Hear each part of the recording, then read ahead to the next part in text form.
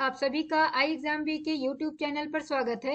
इस वीडियो में हम बात करने वाले हैं बहुत सारी जो वैकेंसी निकली हुई है और ये वैकेंसी जो निकली है वो है ईसीजीसी लिमिटेड के द्वारा।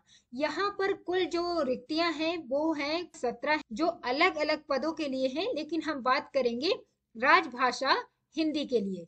यहाँ पर हम देखेंगे कि राजभाषा हिंदी में जो कुल पद चार हैं, उनके लिए क्या क्वालिफिकेशन होगी, क्या आयु रखी गई है उसके लिए?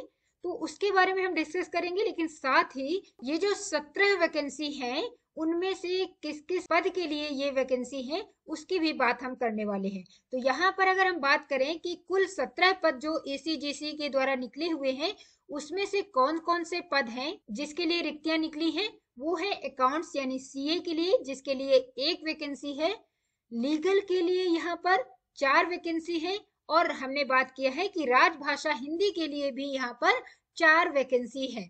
तो इस तरीके से सबसे ज़्यादा जो यहाँ वैकेंसी है, वो लीगल और राजभाषा के लिए है चार चार और बाकी सीए के लिए एक है कंपनी सेक्रेटरी के लिए एक है एक्चुअली के लिए यहाँ पर दो है, और आईटी जो डिपार्टमेंट है, उसके लिए भी यहाँ पर दो वैकेंसी है। साथ में यहाँ पर आईटी सीआईएसओ के लिए एक है, और रिसर्च के फ़ील्ड में भी एक वैकेंसी यहाँ पर है। हम राजभाषा हिंदी की एलिजिबिलिटी के बारे में बात करें उससे पहले हम यहाँ बात कर लेते हैं इम्पोर्टेंट जो डेट है। तो इम्पोर्टेंट डेट की बात करें तो जो आपके रजिस्ट्रेशन की डेट है, वो 2 मई से शुरू होगा और 31 मई तक इसके रजिस्ट्रेशन लिए जाएँगे। बाकी डेट्स भी आप देख सकते हैं कि किस तरीके से यहाँ पर प्री एग्जामिनेशन की डेट है, जो जून के थर्ड वीक में रखी गई है और यहाँ पर जो रिटर्न एग्जामिनेशन होगा वो 15 जुलाई के लिए है। तो बाकी डेट्स भी आप देख सकते हैं कि किस किस डेट में कौन सी चीज़ों के लिए वो बताई गई है। अब बात करें कि राजभाषा हिंदी, जो कि आपके राजभाषा हिंदी में कुल पद जो है, वो चार है और एक अच्छा नंबर है चार, क्योंकि राजभाषा हिंदी के लिए बहुत कम वैकेंसी होती है। अगर यहाँ पर चार वैकेंसी भी है तो ये एक अच्छा नंबर है इसके लिए, जो एजुकेशनल क्वालिफिकेशन है, वो क्या रखा गया है? तो जैसा कि आप जानते हैं कि राजभाषा अधिकारी के लिए सबसे पहले तो यहाँ पर आपको पीजी होना ज़रूरी है, और ये जो मास्टर डिग्री है, किस सब्जेक्ट में होना चाहिए? तो यह, यदि आपने हिंदी में किया हुआ है, या फिर हिंदी ट्रांसलेशन में आपने परा स्नातक किया है तो आप उसके लिए एलिजिबल है। तो इस सब्जेक्ट यानी हिंदी और हिंदी ट्रांसलेशन जो परा स्नातक में लिया है, उसके साथ में आपका ग्रेजुएशन में जो सब्जेक्ट रहा हो या विषय रहा हो, वो इंग्लिश रहा हो। तो आप एलिजिबल रहेंगे राजभाषा हिंदी के लिए।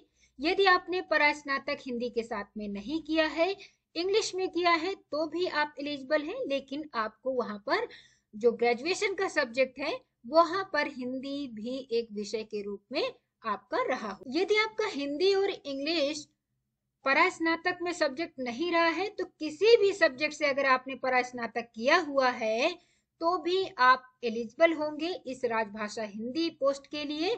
लेकिन उसके लिए आपको ग्रेजुएशन में इंग्लिश भी होनी चाहिए और हिंदी भी एक सब्जेक्ट के रूप में या कोर सब्जेक्ट के रूप में या फिर इलेक्टिव सब्जेक्ट के रूप में वहाँ आपने उसको लिया हो। तो आप एलिजिबल हैं इस पोस्ट के लिए। तो कुल मिला के यहाँ पर आपको पीजी होना ज़रूरी है और पीजी आपका हिंदी में भी हो सकता है, अंग्रेज़ी में भी हो सकता है या फिर किसी दूसरे सब्जेक्ट में भी आपने अगर पीजी किया है तो उसके साथ में आपने यदि अंग्रेज़ी और हिंदी सब्जेक्ट ग्रेजुएशन में पढ़े हैं तो आप उसके लिए एलिजिबल है।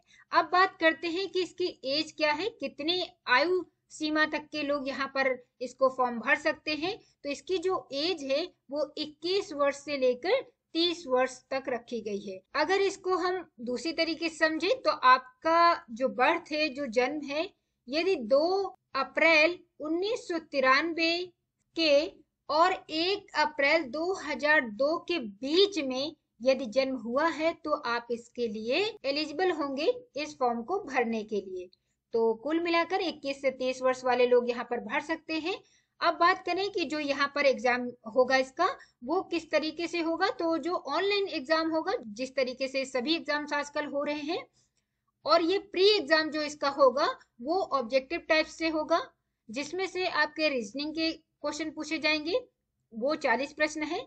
इंग्लिश लैंग्वेज के 40 प्रश्न, जनरल अवेयरनेस से 30 प्रश्न पूछे जाएँगे और क्वांट से भी यहाँ पर 40 प्रश्न पूछे जाएँगे। साथ में जो प्रोफेशनल नॉलेज है, यानी जो राजभाषा हिंदी है, उससे संबंधित 50 प्रश्न पूछे जाएँगे। कुल मिलाकर यहाँ पर 200 प्रश्न पूछे जाएँगे, जो कि 200 नंबर के होंगे। सभी के लिए जो टाइम है, वो अलग अलग निर्धारित है, जैसे रीजनिंग इंग्लिश जीए या फिर आपका प्रोफेशनल नॉलेज है, उन सभी के लिए जो टाइम है, वो अलग अलग यहाँ पर निर्धारित किया गया है।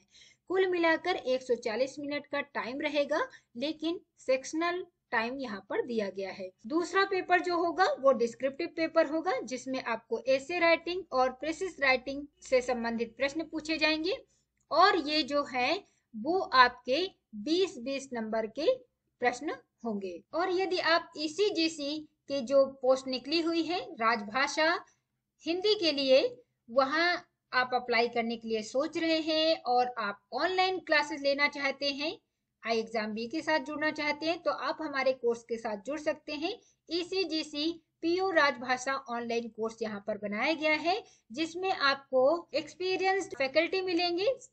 इनरोल होने पर आपको live classes practice test study materials PDF के रूप में शॉर्ट एंड क्रिस्प वीडियोस हैं इंटरव्यू गाइडेंस है। इस तरीके से जो आई एग्ज़ाम भी है, वो आपको 50 परसेंट फास्टर तैयारी करवाता है।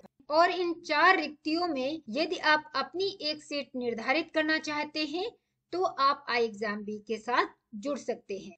अधिक जानकारी के लिए आपको डिस्क्रिप्शन बॉक्स में गूगल फॉर्म दिया जाएगा। आप इससे संबंधित कोई अगर क्वेरी है, कोई पूछताछ करनी है, इस विषय के बारे में जानना चाहते हैं तो उस फॉर्म को भरें या फिर आप इस दिए गए नंबर पर हमें कांटेक्ट कर सकते हैं।